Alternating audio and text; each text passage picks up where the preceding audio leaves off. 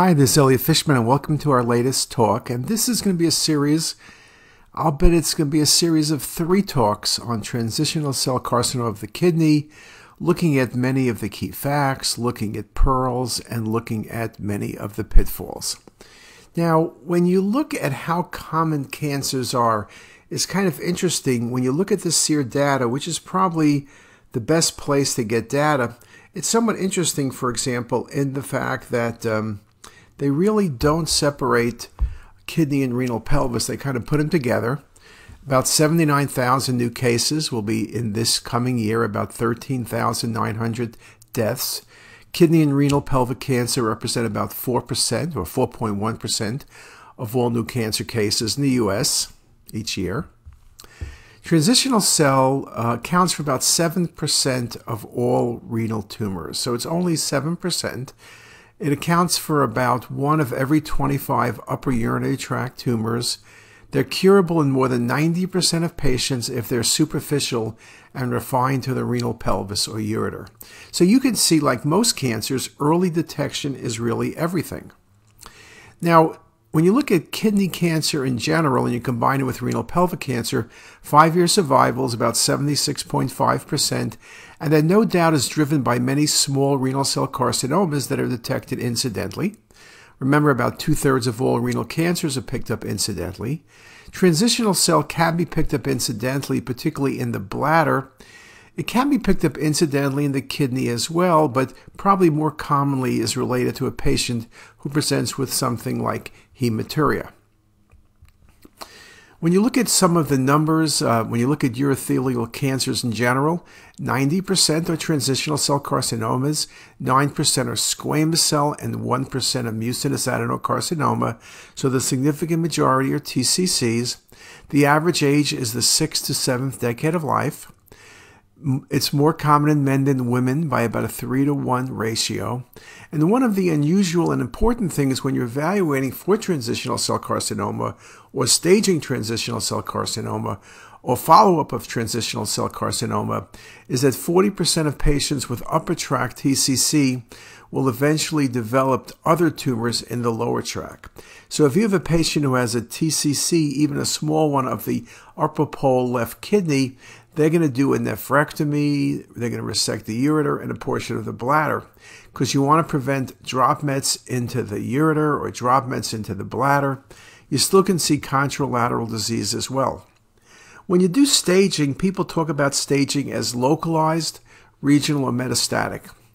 When you talk about localized, we talk about patients with localized disease divided into three. Group 1 have low grade tumors confined to the urothelium without lamina propria invasion. Group 2 are grade 1 to 3 carcinomas without demonstrable subepithelial invasion or focal microscopic invasion or papillary carcinomas with carcinoma in situ and or cancer in situ elsewhere in the urothelium. So it's kind of early tumors. And grade 3, although localized, are high grade tumors that have infiltrated the renal pelvic wall or renal parenchyma or both but remain confined to the kidney. Infiltration of muscle in the upper urinary tract may not be associated with as much potential for distant dissemination as it appears to be the case for bladder cancer. So again, group 3 is more aggressive, more extensive, but still considered localized. Regional is considered group 4, extension of tumor beyond the renal pelvis or parenchyma, an invasion of the peripelvic or perirenal fat, the presence of lymph nodes, hilar vessels, and adjacent tissue involvement. Metastasis is obviously spread of the tumor to distant tissues, and TCC common will go to uh, liver, common will go to lung, and then will go to bone. Now, in terms of uh, looking at TCCs, there was a recent article that made the point uh, and looked at patterns of presentation, diagnostics, and treatment in patients with upper tract TCC. They did a multi center trial. 2,380 patients over a five year period from 101 centers in 29 countries. So, a lot of different places. Patients were predominantly male, 70%, and 53% were past or present smokers. So, smoking is an important uh, risk factor for TCC. The majority of patients, 58%, were evaluated because of symptoms, mainly macroscopic hematuria, and CT was the most common modality performed for evaluation. Our data is in line with the known epidemiologic characteristics of transitional cell. CT imaging is the recommended study of choice. More invasive studies like ureteroscopy can be done and sometimes are done, but most of the time, uh, CT is the study of choice. Um, ureteroscopy can be used for biopsy or tissue confirmation. The major risk for urothelial carcinoma of the upper urinary tract, as we said, 70% were male in that one study, so male, older patients, cigarette smoking and tobacco use, phenacetin abuse, exposure to certain chemicals and drugs such as cyclophosphamide, chronic hydronephrosis, and a history of prior or recurrent severe urinary tract infections. It's kind of interesting that patients with severe urinary tract infections or multiple infections or long-standing infections are more prone to developing TCC over time. Now, um, urothelial cancers occur more frequently in the extrarenal part of the renal pelvis followed by the infundibulocalyceal region. When they manifest as an infiltrating pattern, urothelial carcinoma expands out of the renal pelvis into the parenchyma with distortion of the normal renal cortical medullary architecture with preservation of the reniform shape of the kidney, which is typically not what happens in TCC. So when I think about TCC versus RCC, RCC is masses. They may be small masses or larger masses. They may be vascular or hypovascular. But TCC is typically hypovascular and is infiltrating. TCC involves the calyces, the infundibulum, the pelvis. Renal cells can involve the pelvis, but that's when they're large and invasive. So one of the things we need to look at is the protocols for TCC. If you suspect a TCC, four phases are necessary. We do non-contrast looking for calcifications, or since we're looking for a renal mass, we'll be looking at the density of a process. Arterial phase at about 30 seconds is good, particularly for vascular lesions. Also can give good vascular mapping of the renal artery and veins. Venous phase is ideal for looking at washout, and many tumors will show better on the venous phase rather than the arterial phase. And of course, the late phase fills in the calyces and collecting system, and that can be helpful surely with TCCs to make sure you're not dealing with multiple lesions that are present. And also, you're tracking the ureter and tracking the bladder. So, again, multi-phase acquisition becomes very critical.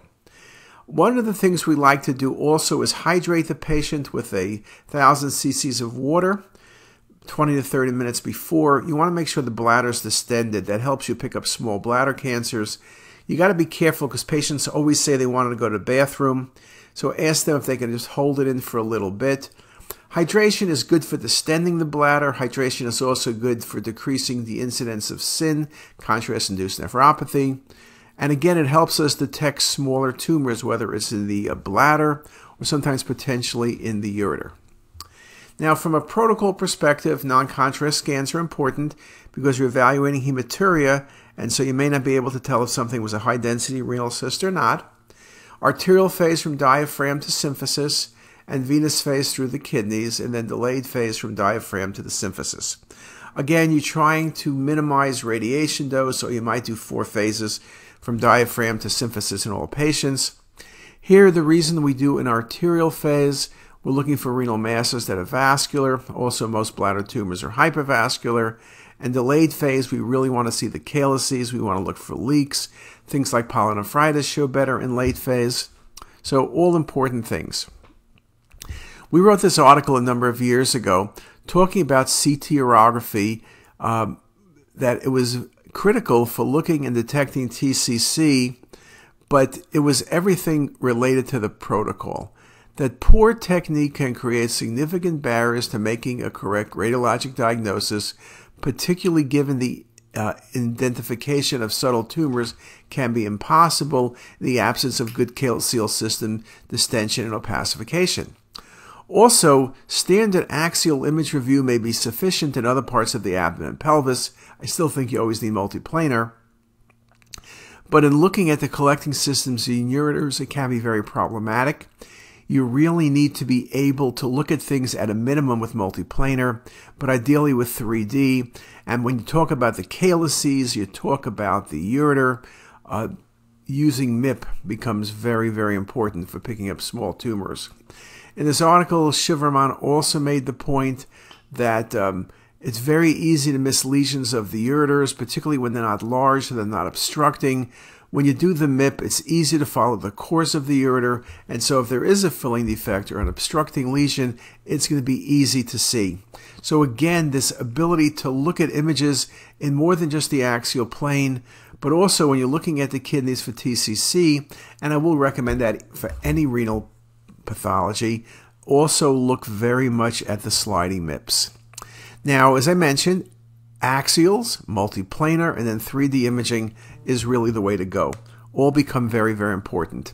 And I'll just show you some examples, and I just picked a few cases to show you the importance of the simplest thing, which is reconstruction views. If you look at the axial images, if you look hard, there is thickening around the proximal uh, right, proximal left ureter. Okay, there is thickening there. But look how much more obvious it is on the coronal view. That was a TCC. You look at this case, only on the MIP coronals do you see the thinning of the calyx to the upper pole of the left kidney. You also see the soft tissue surrounding it, classic for a TCC. Or in this case, is this an undistended pelvis? Well, you look at it, it something looks infiltrating, but surely on the coronal, it's really infiltration from the renal pelvis up into the collecting system. That's a TCC. You can see that TCCs very early on can be very easy to miss. If you don't have delayed scans, you're going to miss them because there's no hydronephrosis. If you don't give contrast, you're going to miss it because you're not going to see it. So again, these lesions are very subtle. I mentioned also, besides multiplanar 3D imaging, here's MIP and volume rendering, both showing you very nicely the calyceal systems as well as the ureters. There's lack of filling of the proximal right ureter due to peristalsis, typically. But look at here, look at this case. Look at the left ureter. You can see both ureters because they're opacified, but you see the left ureter, it looks smaller than the right, but then you notice there's soft tissue around it when you look at that again, and you look at it with MIP, look how obvious it is. There's a several centimeter infiltrating tumor which is narrowing the left ureter. Now, yes, you can look at the left ureter and say, could it be TB? TB can narrow the ureter, yes. Schistosomiasis can do it, yes. Radiation can do it, theoretically, yes, but then the ureter would be irregular. But when you see a process like this, this is an infiltrating TCC till proven otherwise. Just a really nice example showing you that information. Here it is again with some volume rendered images and then the coronal against the volume rendering. All three of them show a several centimeter segment of the ureter that's markedly narrowed, and that's going to be a TCC. Now, some other things about C TCC. Clinical presentation, not surprising, is typically hematuria. Again, multifocal and the age range I mentioned before. Again, this article uh, by Raman, failure to acquire the correct contrast enhancement phases or alternatively failure to adequately distend the collecting system can make identification of even large tumors difficult. A very important point. Now, I will tell you this, put this slide in to remind me to mention we don't do 10 minute delays, we don't do 8 minutes, we do 5. That works typically well in most cases. The reason I don't like delayed phases at 8 or 10 minutes is the contrast often gets very dense in the calyces and the renal pelvis and then causes beam hardening artifact, and then you have a hard time seeing lesions that are present. So five minutes seems to be a very good compromise, and that works really nicely. Now, as I mentioned, one of the things we always need to think about when we look at renal tumors or in a patient with hematuria is it is a tumor, okay, yes, but is it a TCC or an RCC? RCCs will vary in shape and size and vascularity. TCCs are typically hypovascular, typically arise in the renal pelvis or in the collecting system with amputation. They can be infiltrating in nature and simulate renal cell carcinoma at times. They can also simulate lymphoma, which can be focal. So again, it's something you need to think about in the differential diagnosis. So when we look at urothelial cancers, what do we think about? Single or multiple sessile filling defects that compress the renal, fat, renal sinus fat, pelvicalyceal irregularities, which are often strictures, focal or diffuse mural thickening. I showed you some cases a few moments ago, calyceal amputation, and tumor-filled distended calyces. When you think about intrarenal TCC, most upper tract TCCs are small, superficial, and frond-like with good prognosis. A small minority are infiltrative and multifocal. Most common location is the renal pelvis due to the large area of urothelium, and there's a strong tendency for bilateral lesions and multifocal lesions. And again, the importance when staging or following is always look for multiple lesions to be present. Now, we mentioned some of the findings in terms of the calyces. You can see urothelial thickening and enhancement. You can see a focally amputated calyx. You can see a focally dilated calyx. You can see a regularity of a calyx and infiltration with a hypodense mass. The infiltration can even lead to renal vein thrombosis. Infiltration can make you think about the possibility of renal cell cancer or the possibility of lymphoma, but it's important to consider that still a good possibility for a TCC, though maybe not as classic as some others. Now, one of the things about uh, TCCs is, again, from a pitfall perspective, these lesions are often missed when they're small or don't cause too much irregularity in the kidney. You can see single or multiple sessile filling defects that compress the renal sinus fat. You can see pelvicalyceal irregularities, which are stricture-like, can easily be missed. Focal or diffuse mural thickening, again, if you're not careful, you can miss it. Calyceal amputation, when it's uh, a big calyx, it's easy to see. And then, of course, tumor-filled calyces, often dilated calyces due to strictures, uh, can be seen as well. So here's a good example. If you look at the left kidney, enhancement is a bit less than the right, and then you look, there's something filling in the renal pelvis. So we're talking about a tumor in the renal pelvis, and in the coronal view, you could see it right here. It's filling in the renal pelvis, lower pole calyces, and that's a soft tissue mass. It could be sludge, unlikely. It's not going to be an RCC. It looks like a TCC. Soft tissue in the renal pelvis and here it is involving the renal pelvis and lower pole calyx. Interestingly, at this point, the kidney's function is still normal 360 degrees.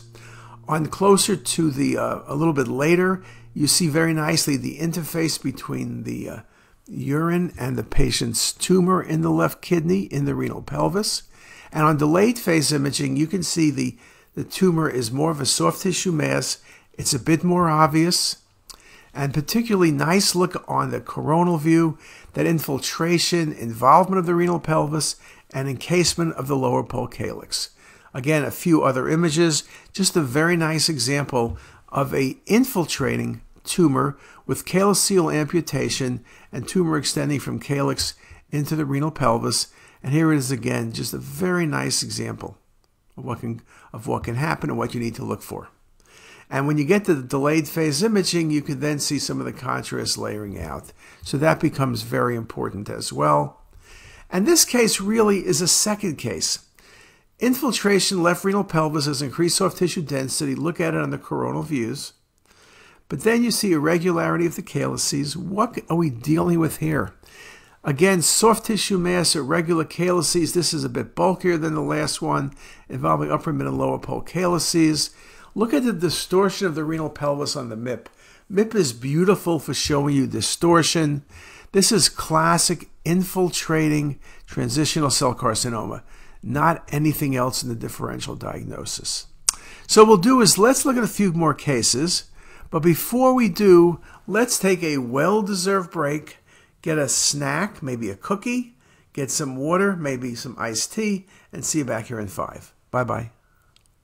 If you like this video, make sure to subscribe to the CTisus YouTube channel. You can also visit us at ctisus.com for even more videos, plus quizzes, pearls, protocols, and oh so much more. We're also in the App Store and have well over a dozen apps for iPhone and iPad, all completely free. Thanks for watching.